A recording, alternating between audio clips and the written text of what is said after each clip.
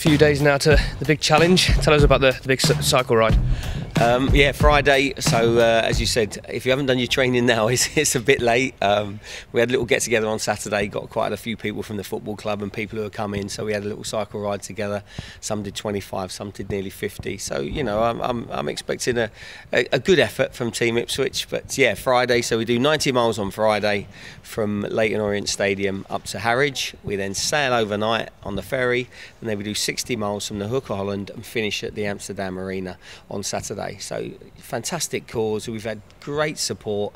Um, I think there's 152 people in total, and that's representatives from, you know, all the football league clubs. Um, but Team ITFC, we've got 18 people in the team, so uh, we've got by far the biggest team. Um, and so far, you know, we would have raised about 20,000 pounds for Prostate Cancer UK, and we're hoping to raise about another 10,000 pounds for the academy. So, you know, it's been a really brilliant exercise, and, and now I, I can't wait to go. Yeah. I was going to say it's a great turnout from everyone who's involved. What's the mood in the camp? Is it nerves, excitement, a bit of both? A bit, yeah, definitely a bit of both because we've got all. I think the the youngest guy going is sort of late twenties. The oldest guy is sixty one. So you got a real mixture. Some of them have done loads of training. They cycle all the time. Some of them, I think, it's going to be the the first biggest challenge they've ever done. So we'll see how they do. Obviously, we've sent out lots of information, tried to help them as much as possible. But just to get eighteen people representing Ipswich, you know, together and you know signing up to it, doing the training, doing the fundraising it just you know gives you an idea of how the people have got behind you know the cycle ride in the club. Yeah, a lot of people have got on board as well. So about Elmy Cycles, for example, they've really helped you out with the gear.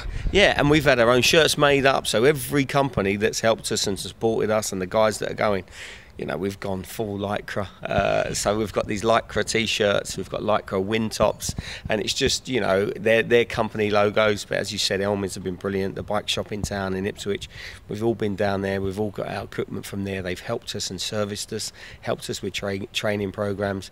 But like everybody, really, once you signed up to do it, you know, a lot of people have been very, very interested in in what we've done and how it's been organised. So I think actually when we come back and and you know and, and tell everyone what we've done and, and signing up for next year, I think the team could get even bigger.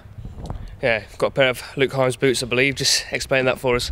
Yeah, well, we did two days of fundraising, sponsorship at the Suffolk Show. Myself and Alan Lee were up there for two days, and we held a raffle. So we had players donating shirts and boots, and I've got Luke Hines boots. So the raffle has been drawn. I'm not sure the name of the person who's won them, but he will be getting or she will be getting contacted today, and all the information is going to go on the website.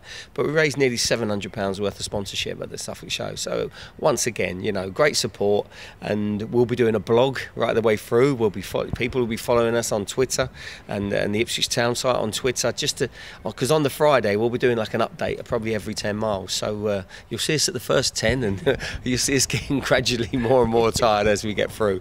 But you can keep an eye on us, and then afterwards we'll certainly come back and tell everybody how it went and, you know how much we enjoyed it.